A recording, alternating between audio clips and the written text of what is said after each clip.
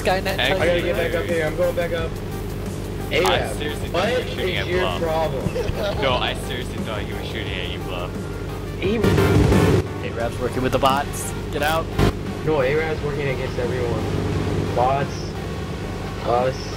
He's killed me. He's his own entity. No, nothing. Did Skynet tell you to do it? The bot.